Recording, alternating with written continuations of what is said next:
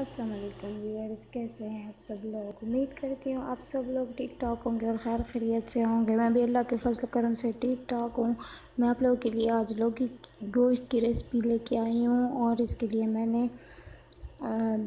एक किलो से थोड़ा सा कम लौकी ली हुई है और साथ में आधा किलो गोश्त लिए हुआ है।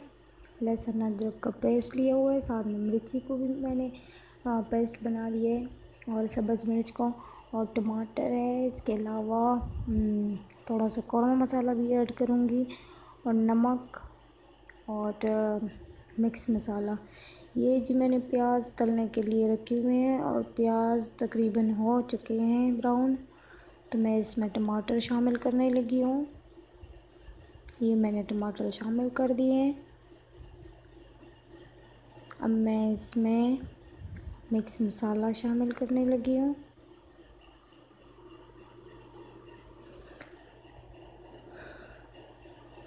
ये जी मैंने लहसुन, अदरक और मिर्च का पेस्ट भी शामिल कर दिए हैं।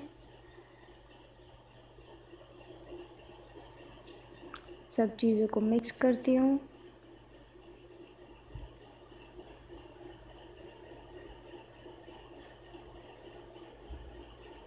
ये मैं इसमें अभी नमक शामिल करने लगी हूँ और साथ ही थोड़ा सा पानी भी डालती हूँ ताकि ये अच्छे सा पेस्ट बन जाए और टमाटर भी बिल्कुल सॉफ़्ट हो जाए।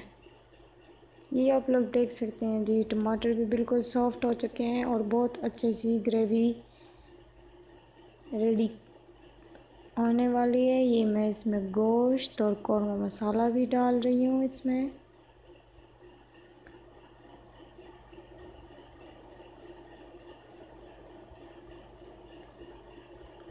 अभी मैं सारी चीज़ें मिक्स करने लगी हूँ।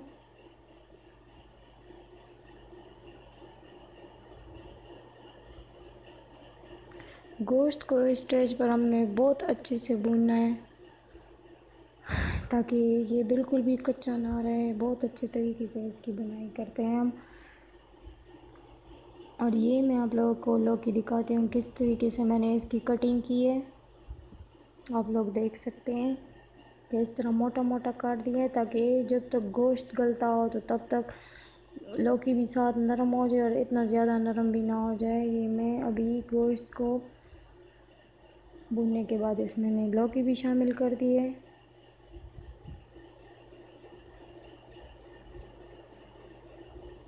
ये मैंने सब कुछ मिक्स कर दिए अभी और थोड़ा सा पानी आधा किलो से तो बिल्कुल ही थोड़ा सा पानी मैं इसमें डालने लगी हूँ ताकि लौकी गल जाए और साथ ही गोश्त में भी, गोश्त भी गल जाए और इसके ऊपर मैं ढकना बंद करने लगी हूँ। मैं प्रेशर कुकर में पकाती हूँ क्योंकि प्रेशर कुकर में सालन का बहुत अच्छा टेस्ट आता है और ये आप लोग देख सकते हैं किस कदर खूबसूरत लग रहा है सालन और बहुत मज़ेदार, बहुत ही स्पाइसी लग रहे हैं। आप लोग भी इस तरीके से ज़रूर बनाइएगा और टेस्ट मुझे बताइएगा कि किस तरह से टेस्ट आया हुआ है। बच्चों को भी खिलाइए, क्योंकि लोग की सेहत के लिए बहुत अच्छी चीज़ है और साथ में अगर गोश्त भी हो तो जायका तो बहुत अच्छा बन जाता है। तो जी, ये थी हमारी आज की रेसिपी और उम्मीद करती हूँ आप सब लोगों को बहुत अच्छी लगी होगी, जो मेरा छोटा बेबी भी साथ आ गए किचन में और हर टाइम जब भी मैं कुकिंग करती हूँ, ये भी किचन में पहुँच जाता है। और कैबिनेट खोल के तो फिर कभी एक चीज़ उठाता है, कभी दूसरी चीज़ और ये आप लोग देख सकते हैं कि अभी उसने बोतल उठाई हुई है सोया सॉस की और ये मैंने देख, आप लोग देख सकते हैं कि मैं अपने छोटे बच्चों को भी सब्ज़ी ज़रूर खिलाती हूँ।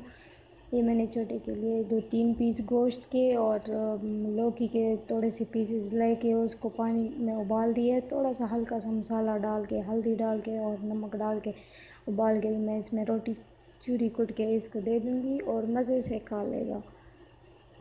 माशाल्लाह से।